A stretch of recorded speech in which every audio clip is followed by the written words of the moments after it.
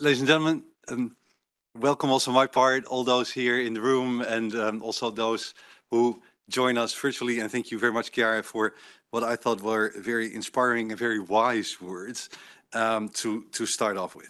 So it's a pleasure for me to to be here in this room together with you here in Frankfurt. And when arriving this morning uh, in such a large gathering of lawyers, you might know I'm a lawyer by training. Many times I'm surrounded by by, by lots of people that know uh, a lot about other things, but um, it's good to be here in in this family. And I'm I'm, I'm slightly um, uh, reminded of these back-to-school feelings after after the summer. Um, and I hope that my intervention uh, today can channel that energy towards the major challenge of our time, the climate and environmental crises. After all, summers Um, now have a very different um, feel and form than those that we remember uh, from when we were younger. Some Europeans faced hell this summer. Record-breaking uh, heat waves scorched the Mediterranean. Forest fires claimed lives and destroyed homes in Greece. Residents in Northern Italy and Central Europe were hit by extreme flooding. And meanwhile, similar disasters have been unfolding worldwide. Canada is experiencing its worst wildfire season in um, on record. Wildfires in Hawaii killed more than 100 people. And recent flooding in China is thought to have displaced over 1 million people. Without human-induced climate change, these events would have been virtually impossible. Back in 2015, Mark Carney spoke about the tragedy of the horizon. Eight years on, we have arrived at that horizon, and the tragedy is upon us, and it has started to unfold. Today is therefore an appropriate moment to recall one of the key channels through which Mark Carney anticipated that the financial sector and financial stability would be affected by the climate crisis, liability risk. And, I'm, and when I say that, I'm referring to climate and environmental-related litigation. A recent UN report observed that climate-related litigation is central to efforts to compel both governments and corporate actors to pursue more ambitious climate change mitigation and adaptation goals. While governments were the most common targets of such litigation in the past, cases are now also increasingly being filed against corporates. For supervisors and banks alike, this is becoming a major source of risk that needs to be properly anticipated and addressed. And it is particularly important at a time when non-financial, but also financial companies, including banks, are becoming the direct targets of such litigation. And this brings me to the key message of my remarks today. Litigants are coming after the banks, come hell or high water. And the banks need to be prepared. The ECB's legal conference is the perfect forum to discuss this topic for two reasons. First, it is about the role of lawyers and of courts, and in the fight against climate um, in the fight against climate and environmental crises. and Second, as a banking supervisor, the ECB finds that banks still need to make significant progress in increasing their awareness of climate and environmental-related litigation risks, and they need to be better prepared to address this risk. The rise in climate litigation should not come as a surprise. The Network for Greening the Financial System, the NGFS, already identified it as an emerging source of risks for the financial sector back in 2021. And In fact, I also spoke about it, albeit uh, slightly um, shorter than today, um, at the ECB legal conference um, two years ago. Since then, the number of cases has truly exploded. Globally, some 560 new cases have been filed since 2021. And against this backdrop, last Friday, the NGFS published two new reports on climate-related litigation.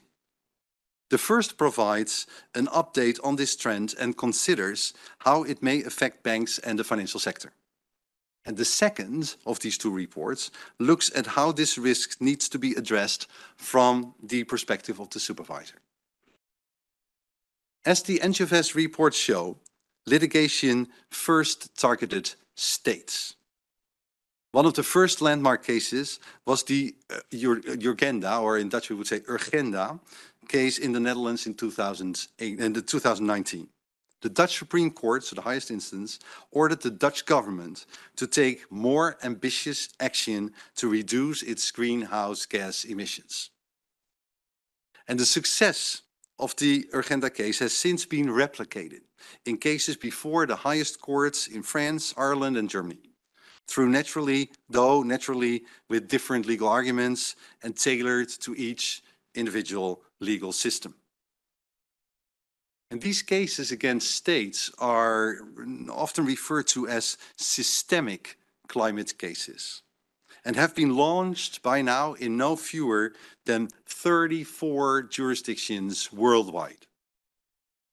And these cases bring about and accelerate changes in policy while also providing clarity on duties and responsibilities.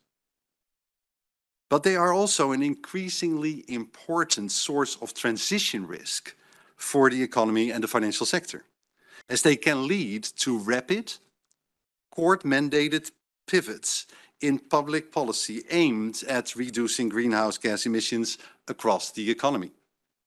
And moreover, we are recently, um, we have recently seen a remarkably increase not just in cases against states, but in cases against corporates. Litigation has been launched against a wide range of companies across various sectors of the economy. Fossil fuel and energy companies have been obvious targets, but also car manufacturers, airlines, food companies, and producers of concrete and plastics a wide variety of legal arguments are being used as the basis for such claims. We are see seeing claims um, for damages under tort law, uh, for breaches of corporate uh, due diligence laws, and for greenwashing. And we are also increasingly seeing non-governmental organizations buying shares in companies so that they can subsequently attempt to make the directors personally liable for breaching their fiduciary duties to adapt the company to the climate transition. A telling aspect of this trend is the strategic approach that these litigants take um, across the board.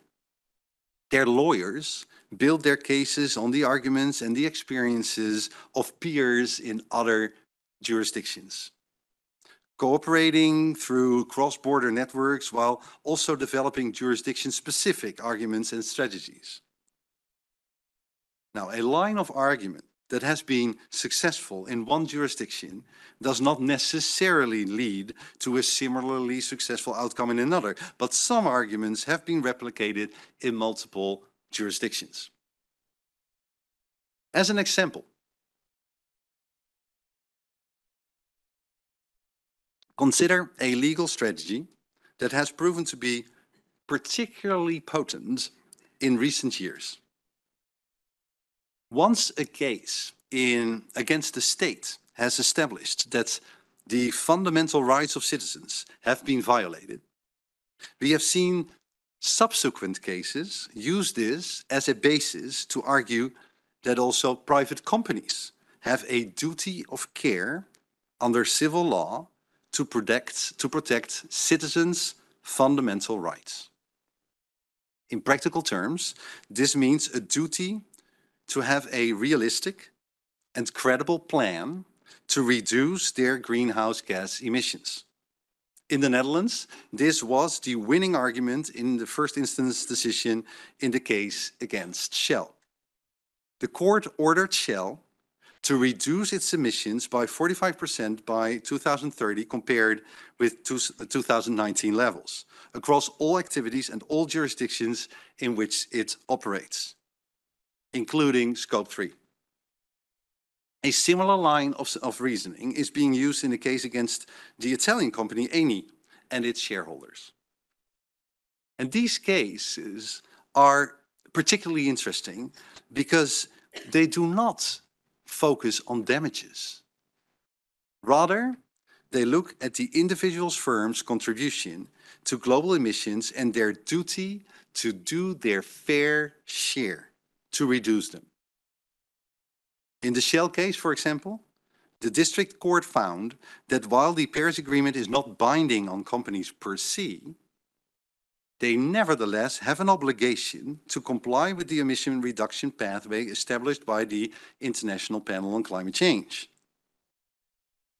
The Shell case is currently under appeal. But if the decision by the district court were to be affirmed by the highest court, it could establish a legal obligation under Dutch law for all corporates to proactively reduce their emissions in a way that is aligned with the objectives of the Paris Agreement. This would have major repercussions and would be, quite frankly, revolutionary. Such a duty is not currently priced into nor part of firms' business and transition plans. Up to now, the focus on liability risk has involved looking at actions for damages, and the assumption has been that this risk is somewhat remote because causation has been difficult to establish. Now, this assumption may turn out to have provided a false sense of security. First, because uh, attribution science may make it easier to prove causation, and second, because Shell-like fair share cases take a different approach and don't need proof of causation. In any event, these cases pose obvious risks for the financial sector. Companies may face significant direct and indirect financial losses. And we are not only talking about the costs of damages, fines, legal costs, and the impact of the company's share price. There could also be potential risk to a company's viability if a ruling were to result in unexpected adaptation costs or outright stranded assets that have not been priced in previously. Such a ruling would have an impact on the defendant in the specific case, but other companies in the same sector and the banks that finance them might just as well be impacted. However, banks, focusing on banks a little bit more as a banking supervisor, um, will not only be affected indirectly. They may well be sued directly. In fact, this is already happening today. Litigants are turning their attention to the financial sector with the idea that if they sue the banks, they can somehow turn off the taps of funding to those high-emitting companies. And as I said, we are already seeing the first examples. There have been cases brought against financial institutions for greenwashing, as well as cases brought against the trustees of a pension fund. We have seen the first case taken directly against the bank under corporate due diligence legislation in France for its role in financing the expansion of fossil fuels. And we cannot exclude that in some jurisdictions, litigants will go for the jugular. Like in the Shell case, they could argue that banks also have a duty of care under civil law to protect fundamental rights, and that they must have plans in place to reduce emissions in line with the Paris Agreement and the European climate law. In other words, plans to reduce their emissions by 55% by the year 2030 compared with uh, 1990 levels, and to immediately stop financing new fossil fuel exploration. Now, part of the reason why we must take this risk seriously is because the litigants, and in these cases, the plaintiffs, have proven to be very serious players. Most cases are brought by or supported by NGOs. And we aren't just talking about some activists turning up outside the courtroom with cardboard placards. No, the litigants in these cases are sophisticated and they use their transnational networks to build precedents across borders. They are well funded, well connected, and well organized, and they can and do hire the best and brightest law lawyers in the field. So let me now turn to the more practical part of the speech, or the homework. Um, if I may again draw a little bit of a parallel to the back uh, from um, from home back to school analogy of the beginning of this uh, this talk. How can banks properly address and mitigate climate-related litigation risk? And how can prudential supervisors guide them I will mention two strands of thought here. The first is what I would call the bread and butter guidance. In 2020, the ECB published its Guide on Climate and Environmental Risks. And this guide contains several expectations that can help to address climate-related litigation within existing categories of risk. And these include the need to evaluate litigation risks, define tasks and responsibilities relating to climate risks and conduct climate-related due diligence. And with its 2022 thematic review, the ECB banking supervision went a step further, setting institution-specific remediation timelines for meeting all the expectations of the Guide of 2020 by the end of 2024, including intermediate deadlines of the end um, um, uh, of last March and the end of this year. And we also provided a companion of good practices implemented by supervised banks, including practices to address climate and environmental related litigation risks. Now, I recently asked um, the CEOs of some banks uh, under our supervision to do me and actually to do themselves a favor. And I suggested uh, to ask their general counsels how closely they are um, following developments in climate and env environmental related litigation. Is Urgenda a household name? Has the Shell case been analyzed in depth? And have the possible repercussions for the bank been discussed in detail in a recent board meeting? Have the avenues of possible di direct litigation against banks been considered? Has the coverage of personal liability insurance for board members been checked in case their bank was found to be subject to the same obligations as Shell and it was in first instance, and second, if their bank were to be in breach of that.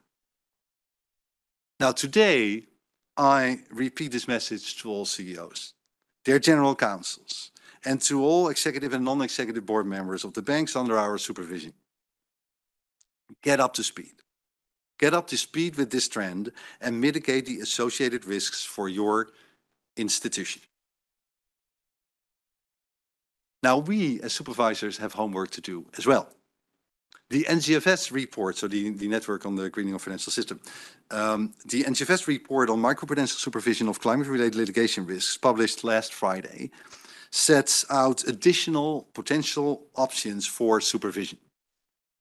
It emphasizes the need for supervisors to take a risk-based approach, which can include performing a materiality assessment of risks at the broader jurisdictional level or more granular exposure analysis at the entity level.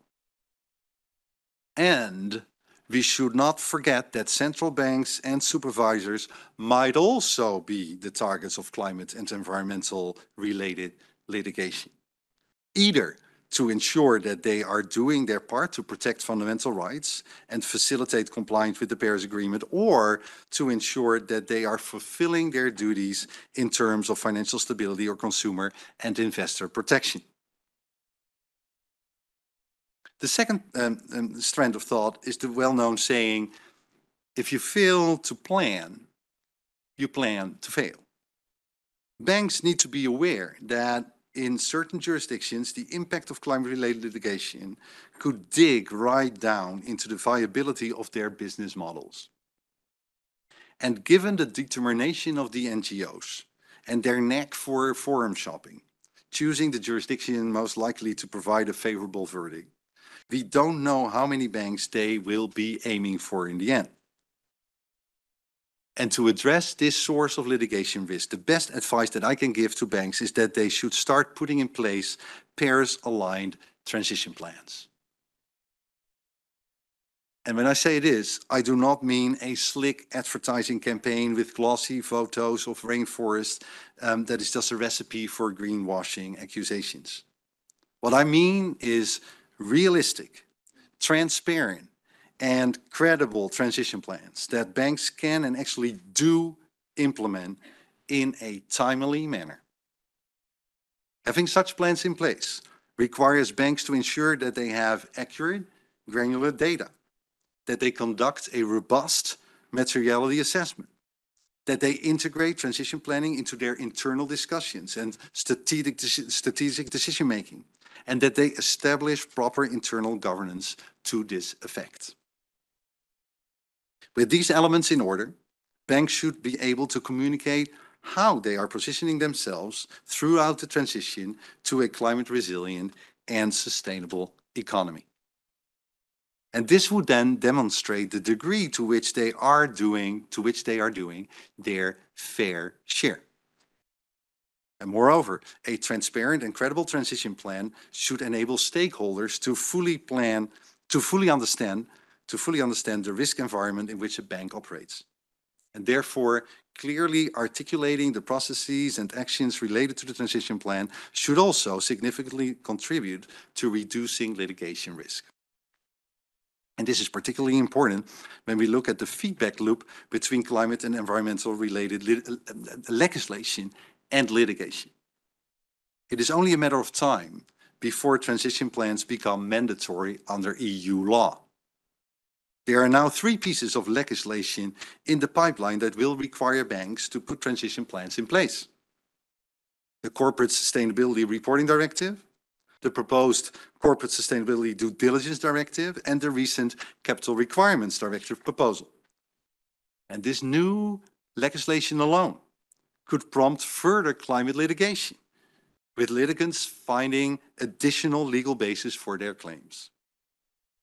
Now, of course, no one, not supervisors, not legislators, not even the courts, can expect individual companies or banks to single-handedly solve the climate crisis.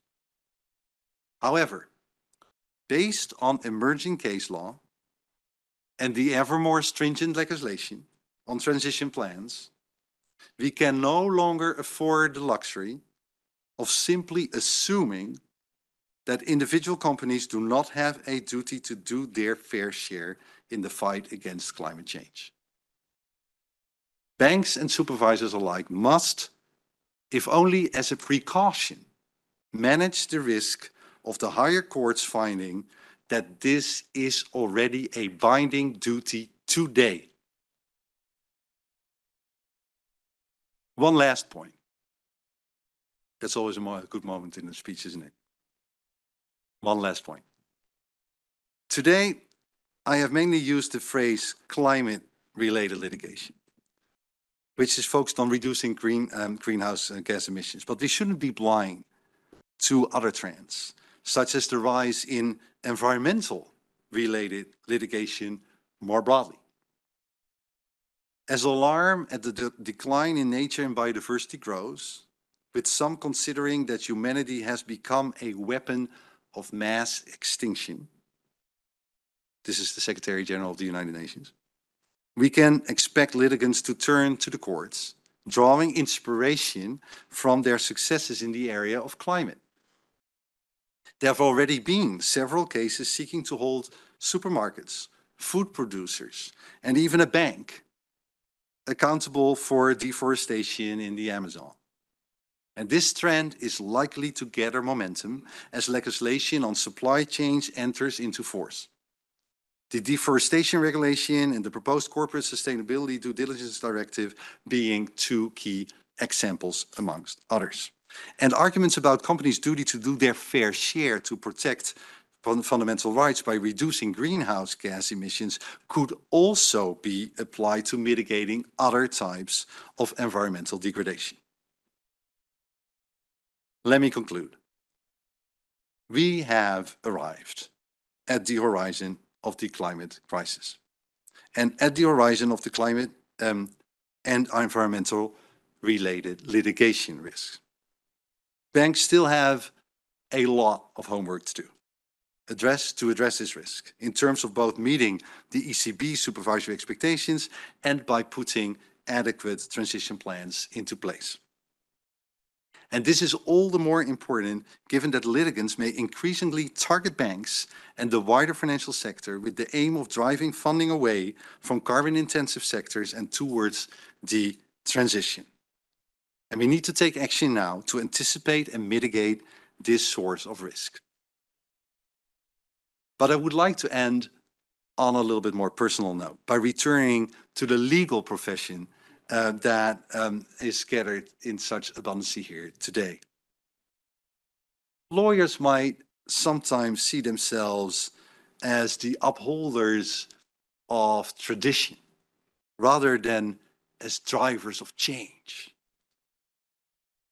They might not necessarily see their work with a pen and paper in front of a computer or in the courtroom as having a dramatic physical impact on the world, much less saving the planet. But with climate and environmental related litigation, it's different. The lawyers involved in these cases, be it as counsel, as judges, or as academics, see that urgent change is needed to protect humanity by holding society to the commitments of the Paris Agreement and to protect citizens' fundamental rights using the rule of law to achieve these goals. And it brings to mind a poem, the poem Digging by Seamus Heaney, in which he reflects on whether his creative endeavors could bring the same value to society as his um, ancestors' work digging the land to plant and harvest food. And he reflects on how to balance his wish to honor his forebears with his drive to follow his own way, using a pen instead of a spade. And Heaney then concludes, and some of you might know this, uh, this, this, between my finger and my thumb, the squat pen rests. I'll dig with it. Now, lawyers today are also taking up their pens to support the world on a Paris-aligned path. And their pens set in motion set in motion the pens of judges. The pens of judges may well induce real change. And banks must manage all their material risks, including their climate and environmental related litigation risks. Come hell or high water. Thank you.